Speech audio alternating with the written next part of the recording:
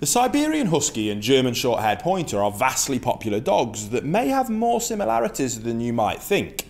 If you are considering either one of these breeds, stay tuned as we take a look at these two breeds to hopefully help you select which breed could be the next perfect canine companion for you and your family.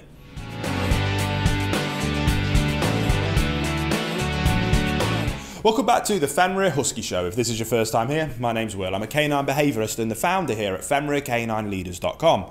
This channel is dedicated to you learning everything that you could possibly ever want to know about the incredible Siberian Husky and then how you can become a high level canine leader that raises perfect Husky companions. So if you love them as much as we do here at Fenrir, hit that subscribe button and turn on the notification bell and you'll never miss one of our future Husky videos.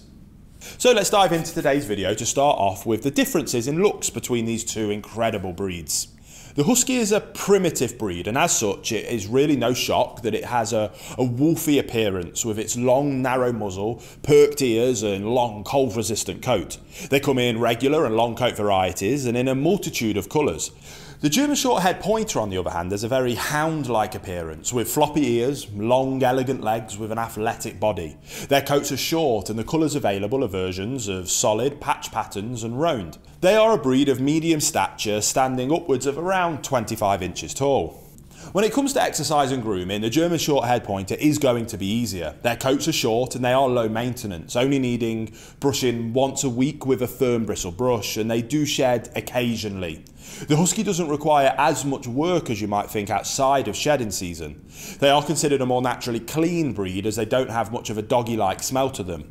The Husky does need to be groomed a couple of times a week and shedding season is when you really need to put in more effort to help them shed out that undercoat. Hey guys, if you're not already, you should be following our Fenrir Rescue Diaries over on Fenrir Canine Training channel. That is following my journey of working at a rescue centre, helping dogs that have been abandoned, abused, given up or found as strays and helping implement behaviour modification programs to allow them to become perfect canine companions that can be rehomed to their forever homes. So if you're interested in following my journey of how I do that, there'll be a link to that channel down in the description box below. I think you'll really enjoy the journey, but I'll let you get back to the video you were just watching. For exercise, the Husky is probably going to be a little bit less demanding, but not by much. Both of these breeds are active. The German Short-haired Pointer is a very active breed. They need an excellent physical outlet or become incredibly destructive.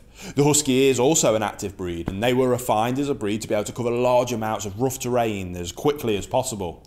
And they do need space to run and because of this breed's independent nature, this space needs to be secure so they can't get themselves lost before you or they have realised what's happened. A Husky can relax though once they have been given a workout. In comparison, the German short-haired pointer will always be ready for action at the drop of a hat.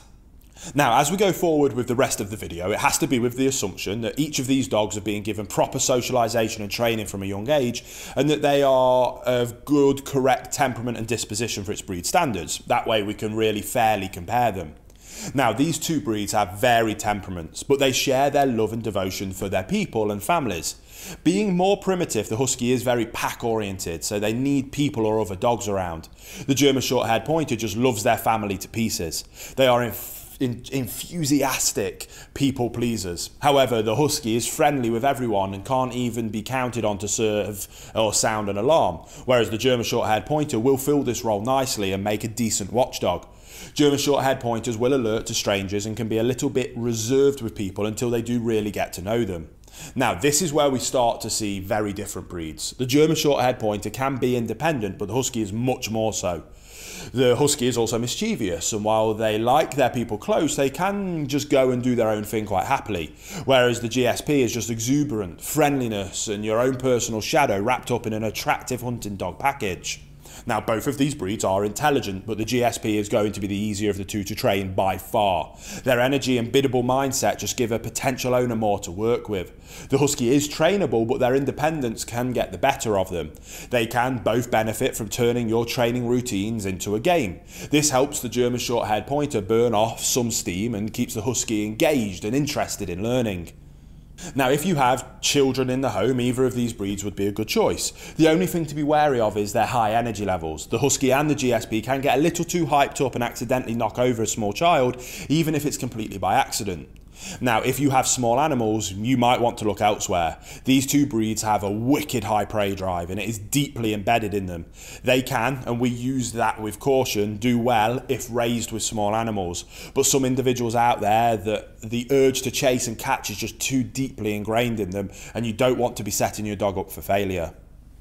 So I hope you enjoyed that quickfire breakdown of these two wonderful, glorious breeds. If you did enjoy it, please give it a thumbs up and remember to subscribe and turn on that notification bell as we've got two dedicated Siberian Husky videos coming to this channel every single week. And I can't wait to speak to you again on the next episode of the Siberian Husky Show.